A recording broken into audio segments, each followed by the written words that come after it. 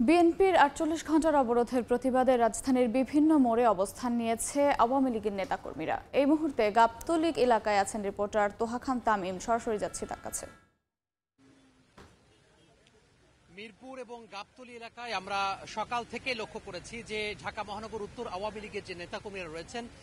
তাদের বেশ সরব উপস্থিতি আমরা লক্ষ্য করেছি রাস্তার মোড়ে মোড়ে। এবং আমি একটু দেখাতে চাই আমার পেছনে এই মুহূর্তে গাবতলির যে বাস স্ট্যান্ড এলাকা রয়েছে, সেই বাস স্ট্যান্ড এলাকায় কিন্তু যারা নেতাকর্মীরা রয়েছেন, তারা নেতাকর্মীরা আসলে দাঁড়িয়ে রয়েছেন এবং তারা বলছেন যে এই যে অবরোধ চলছে, টানা আটচল্লিশ ঘণ্টার অবরোধের আজকে প্রথম দিন, এই আটচল্লিশ ঘণ্টার অবরোধের প্রতিবাদে তাদের অবস্থান কর্মসূচি তারা গ্রহণ করেছেন এবং তারা বলছেন যে কোনোভাবেই কিন্তু এই অবরোধ আসলে সফল হতে তারা দেবেন না এবং আসলে যারা সাধারণ মানুষ তারা সাড়া দিচ্ছে না বলে তারা আসলে দাবি করেছেন। তো সব মিলিয়ে বলা যায় যে সব মিলে বলা যায় যে রাস্তার মোড়ে মোড়ে ঢাকা মহানগর, উত্তর আওয়ামী লীগের যে নেতাকর্মীরা রয়েছেন তারা এখানে আসলে অবস্থান নিয়েছেন এবং রাস্তার পাশে বিভিন্ন মোড়ে মোড়ে আমরা দেখেছি যে ছোট ছোট যে শেড করে অর্থাৎ সামিয়ানা টানিয়ে তারা অবস্থান নিয়েছেন সকাল থেকে এবং যাতে করে যান মালের ক্ষয়ক্ষতি না হয়, অবরোধের কারণে যাতে কেউ কেউ নাশকতা করতে না পারে, সে ব্যাপারে তারা সচেষ্ট আছেন বলে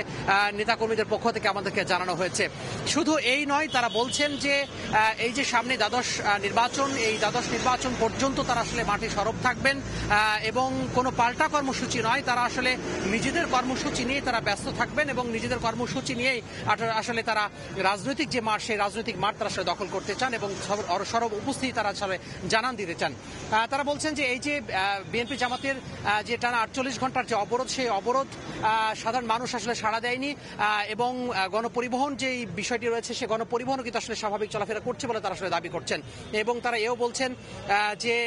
আগামীতে যে নির্বাচন, সেই নির্বাচনে শেখ হাসিনা সরকার, অর্থাৎ আওয়ামী লীগ সরকারকে তারা বিজয়ী করে শেখ হাসিনাকে তারা আসলে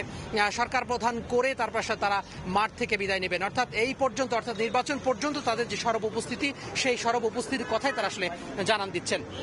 এবং তারা, আমরা দেখেছি যে মিরপুরের বিভিন্ন যে পয়েন্টগুলো রয়েছে, সেই পয়েন্টে পয়েন্টে তারা আসলে অবস্থান নিয়েছেন এবং স্লোগান দিচ্ছেন মুহুর্মুহু এবং তারা তাদের যে উপস্থিতি, সেই উপস্থিতি সাথে জানান দিচ্ছেন এবং কোনোভাবেই বিরোধীদের তারা মাঠে দাঁড়াতে চান না বলে এই হুঁশিয়ারও কিন্তু উচ্চারণ করছেন। তো সব মিলিয়ে বলা যায় গাবতলী এলাকা এবং মিরপুর এলাকা থেকে অবরোধের এই ছিল আমার হাতে সবশেষ। সরাসরি যুক্ত ছিলাম রাজধানীর গাবতলিতে।